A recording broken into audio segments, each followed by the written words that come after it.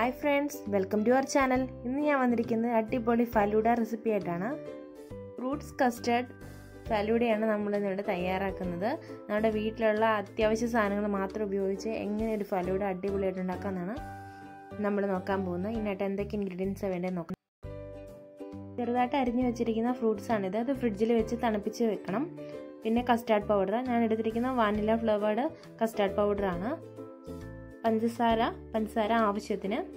ഇനി നമുക്ക് വേണ്ടത് സേമിയാണ് അത് വറുക്കാത്ത സേമിയ തിളച്ച വെള്ളത്തിലിട്ട് വേവിച്ചെടുത്ത് വെച്ചിരിക്കുന്നതാണ്. ഇനി നമുക്ക് വേണ്ടത് കസ്കസ.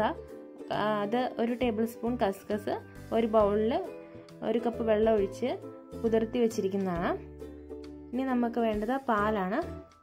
ഞാൻ ഒരു ഗ്ലാസിന്റെ അളവ് വെച്ച് പറഞ്ഞു തരാം ഒരു ഗ്ലാസ് ഫലൂടയ്ക്ക് ഒന്നര ഗ്ലാസ് പാലാണ് വേണ്ടത്. ഒന്നര ഗ്ലാസ് പാൽ നന്നായിട്ട് തിളപ്പിച്ചെടുക്കണം. തിളച്ച് അങ്ങ് വരുന്ന സമയത്ത് നമുക്ക് മധുരത്തിന് ആവശ്യമായിട്ട് മൂന്നോ നാലോ ടീസ്പൂൺ പഞ്ചസാര ചേർത്ത് നന്നായിട്ട് ഇളക്കി കൊടുക്കാം. ഇനി ഇതിലേക്ക് വേണ്ടത് കസ്റ്റാർഡ് പൗഡറിന്റെ മിക്സാണ് അതിന് വേണ്ടിയിട്ട് കുറച്ച് തണുത്ത പാൽ ബൗളിലെടുത്തിട്ട് അതിലേക്ക് അര ടേബിൾ സ്പൂൺ കസ്റ്റാർഡ് പൗഡർ ചേർത്ത് കട്ടയില്ലാതെ നന്നായിട്ട് മിക്സ് ചെയ്തെടുക്കുക. തിളച്ച് വരുമ്പോൾ ഈ കൂട്ട് പാലിലേക്ക് ഒഴിച്ചു കൊടുത്ത് നന്നായിട്ട് മിക്സ് ചെയ്തെടുക്കുക. ഒരു രണ്ട് മിനിറ്റിന് ശേഷം ഗ്യാസ് ഓഫ് ചെയ്ത് ഈ പാലൊന്ന് ചൂടാറാൻ വെക്കുക.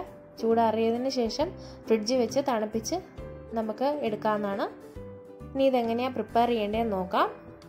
ഈ ഫലൂഡ ലെയർ ചെയ്യുന്നതൊക്കെ നമ്മുടെ ഇഷ്ടത്തിനാണ്. നമുക്ക്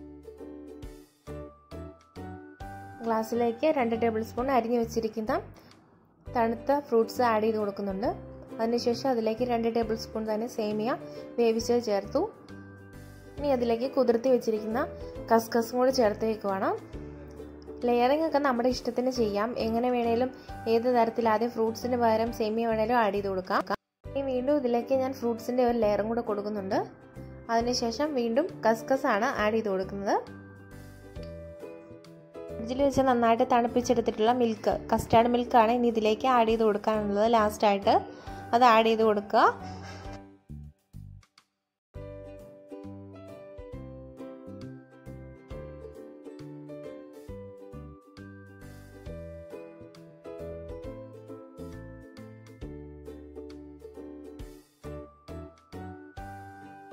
ഏറ്റവും ടോപ്പിലേക്ക് ഒരു സ്കൂപ്പ് ഐസ്ക്രീം വെച്ച് കൊടുക്കുന്നുണ്ട്. ഇതൊന്ന് ഗാർണിഷ് ചെയ്തെടുക്കാം. ഞാനിവിടെ യൂസ് ചെയ്തേക്കുന്ന ഒരു ചെറിയും കുറച്ച് ബദാമും പിസ്തയുമാണ്. നമുക്കതെങ്ങനെ വേണേലും ഡെക്കറേറ്റ് ചെയ്തെടുക്കാവുന്നതേ ഉള്ളൂ. അപ്പോൾ നമ്മുടെ സ്വാദിഷ്ടമായിട്ടുള്ള ഫലൂഡ ഇവിടെ റെഡി ആയി കഴിഞ്ഞിട്ടുണ്ട്. തീർച്ചയായിട്ടും നിങ്ങൾക്ക് ഈ വീഡിയോ ഇഷ്ടമായിട്ടുണ്ടെങ്കിൽ ഇതൊന്ന് വീട്ടിൽ ട്രൈ ചെയ്ത് നോക്കാൻ മറക്കരുത്. ട്രൈ ചെയ്ത് നോക്കിയതിന് ശേഷം നിങ്ങളുടെ ഫീഡ്ബാക്ക്സ് തന്നെ കമന്റിലൂടെ അറിയിക്കുകയും വേണം.